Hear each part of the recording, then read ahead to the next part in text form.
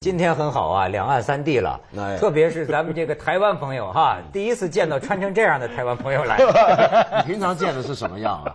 不是，我跟你讲，他穿的像北京的板爷，像北京胡同里的。没错没错。哎，这个一般台湾朋友来了都是看着装的像个人似的。这什么话？是我最好的衣服。我也是打点。人家想着上电视穿最好的，你还穿地里挑了，穿着礼礼礼服来的，穿着礼服。这这，所以这么一个有意思的人，我们一定要介绍一下，是吧？骆以军啊。文道，我觉得你的朋友最好你来介绍他。对，骆以军呢，基本上现在是，我觉得是台湾中生代里面最好的小说家，最好的作家。那也是，甚至是整个华文世界最好的作家之一。因为他不是刚刚才拿过，就凭今天这个手上我们新鲜热辣的《西夏旅馆》。哎。我们给大家推荐一下啊，西夏旅馆拿了这个香港的《红楼梦奖》。《红楼梦奖》呢是个华文世界两年一次的一个长篇小说奖。对，第一次拿的就是莫言，嗯，第二次就是他了。你看他这个书很有意思，两大本吧，中间一小本对，听说是删去多少字的都集中在这一小本没错，那这书呢很奇妙，我们要准确形容它跟它的风格就是。他基本上是一个很黄很暴力的作家啊。那这本书的关键词就几个吧：乱伦、奸杀。呃，杀了再奸，呃，然后杂交、屠杀，都是这样。都是你平常想做的事，是吗？对，没想到这人长得像个玩具熊，写就写这玩意儿，你这什么呢？这是什么状态？啊？哎，骆老师，你你，魂魂已经瞎了。对，骆老师，我现在发现呢，包括你看。张大春，大春兄也在我们这里做过节目，是吧？朱天文也来过。看来不光是 大陆的作家喜欢写这个色情、暴力、哈性心理，这个台湾作家更狠呢。啊，他们带坏我，被带坏了。本来我是一个纯洁的文艺青年。哦，纯洁的文艺青年。而且呢，我还听说写这么多乱伦呐什么的，奸了后杀，哈杀了后奸，过程中就写，就说你写成忧郁症了是。啊，是是是，哦，真的吗？我写成忧郁症了吗？我这都都对，可是又不对。那你说写是写成忧郁症，可是不是因为写奸了后杀杀了后奸，不是写这个，这个只能写成亢奋症。对对对对对。所以啊，他这个很有意思，我就觉得人呐，表面上看，你看，包括我也整天在这儿也嘻嘻哈哈、高高兴兴的。那其实你也很忧郁。呃，对，其实大家想不到。这样的一个娃娃，我不是娃娃，不是，我觉得你笑起来像他有两个儿子了，对，两个儿子啊，像是个开心果一样的人。但是我要跟大家讲，他是个非常严重的需要吃药的忧郁症患者。是是是，哎，是，现在好了，不要把我当病例，是吗？对对。那你正好跟我们分享一下，怎么就能治好呢？这事儿。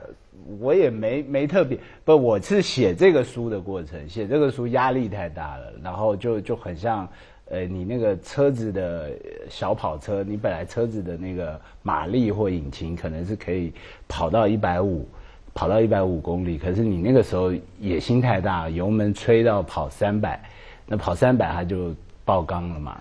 那是属于就等于工作压力过大会导致。我写的时候超亢奋，我记得我刚开始写的时候，因为我准备了蛮多年的这个题材，西夏这个题材，我这个。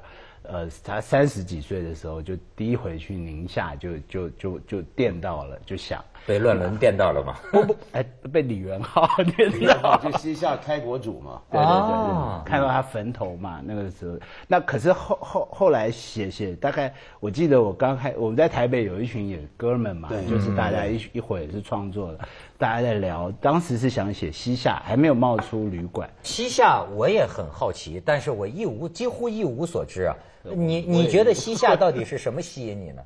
西夏，他他当然，因为我我有个背景嘛，我就是这种所谓台湾，我父亲是一九四九年跑到台湾去的。你老老家哪里？老家是祖籍是安徽。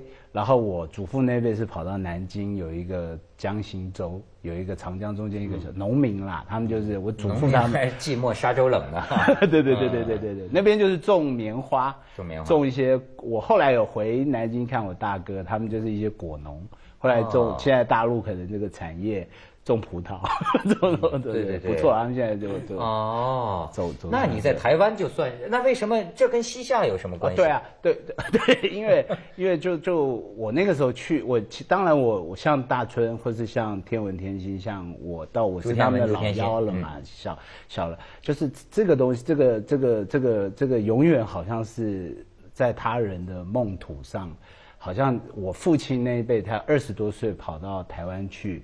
然后他他是别人的梦里的，他可能是蒋介石的一个反共大梦的里的，他们是一群裹挟过去的一群，活在别人梦里的。我就是在里头写，其实他们基本上是一群没有着床的，他们是一群就是像西夏，他们那个这个这个族。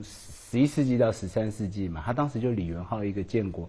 其实他的祖父啊，他的父亲都是非常承顺于北宋的。他们赐姓李，也是唐氏赐姓他们的。他们是一直是对中国是君臣父子之之之之礼。可是就是李元昊就是一个枭雄，他就会觉得说。我要凭空建立，他们本来这个党项腔是一群畜牧，没有国家。党项族嘛，对，就说他要立国，他就有创造自己的他自己的文字。你看过西夏文字吗？他是一个非常现代主义的，个个字都熟，一个都不认识。对，大家都说像徐冰弄的那些。他徐冰的就是西夏文，他不是他基本上他这个就是现代主义的。他现代主义什么意思？他没有历史脉络的，他是基于一个高道的一个一个意志，可是。李元昊这个，他是一个年轻的一个，他自己一个人的意志，他就，他是一个怪胎，他就他就硬生生的用抓了一个一个汉人的降臣，去三年的时间关起门来，就像写百年孤寂，关起来，你给我把我们这个立国所有的文字创出来，所以这些文字全部是拿汉字凭空，就是现代主义的东西，汉字拿过来，我全部把它长毛，那他好像是要把。他的从此以后表述这个民族的最基本的文字，他全部是你们大汉天子，你们的世界是一个光的世界，你们是一个呃四呃八极四合的一个一个一个一个农业帝国长出来的一个跟农业的节气有关的时间感的一个帝国。我建立的是一个畜牧的，我是一个黑影的世界。它是长毛的，然后它的表意是全部它的，它进入到另外一个奇怪的时间。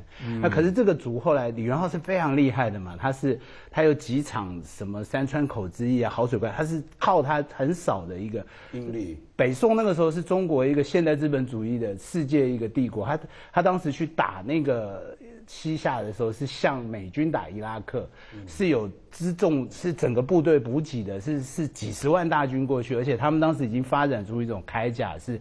纸做的铠甲，是轻纸纸做的，所以你看，他已经科技进步到这个地步。怪不得宋徽宗给俘虏了，是很错，纸做的铠甲。不，他纸做铠甲其实它是符合一个战争，它是可以防刀剑的，柔韧性强。对，可是它其实是轻装的。其实，在当时那个时候是一个内陆式的一个《三国演义》嘛，他玩的几个，他也像他打了几场仗，跟宋打了几场关键性的战役，他全赢。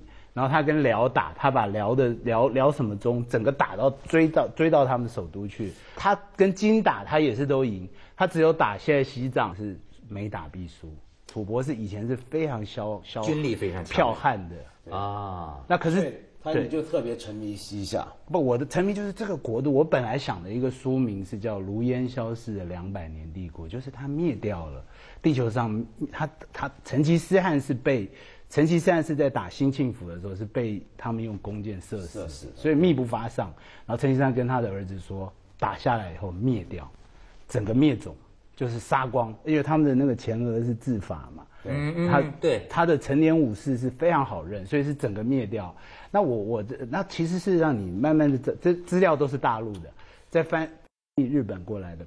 你会发觉到说，这个文明是一个当时非常高度的，他们的佛经，我们敦煌的佛经全部是用西夏文写的，他们有最好的。冶铁术，他们的西夏马刀是当时很有名的。嗯，然后他们有瓷器，瓷器在中国古代的这种封建帝国，你必须要一个高度集中的帝国，你才能有这么奢侈的一个烧瓷的皇家的代表。他也有西夏瓷，其实是非常是不输当时北宋的官窑或是辽的瓷啊，这么高是很高度的一个文明。然后他们是的建筑，他们的建筑它也是跟扭转过来的。它的它大陆这边都有在讲一些当时新幸福的建筑，它有一半是汉的天地宇宙结构，紫禁城的，可是它有一半是伊斯兰的一一一个结构，它的结构是天圆天圆地方是很奇怪的一个构造。那可是这个族后来是灭光了，这个文明是整个不见了。那我当时当然就会有一个。这这，我觉得这就是所谓这种外省第二代的一个，我回到这个富的国度，其实现在是回到这些什么神马都是浮云，然后草泥马都朝这些世界，就是现在看到的这个中国。所以啊，是另一回事了嘛。大陆人没有身份认同感的问题，没有是吧？但是你看很多台湾人，他就尤其是他的文化人，他经常的都是说我是谁，我从哪里来，我要到哪里去。对吧？没错。哎，我还我还没着床呢。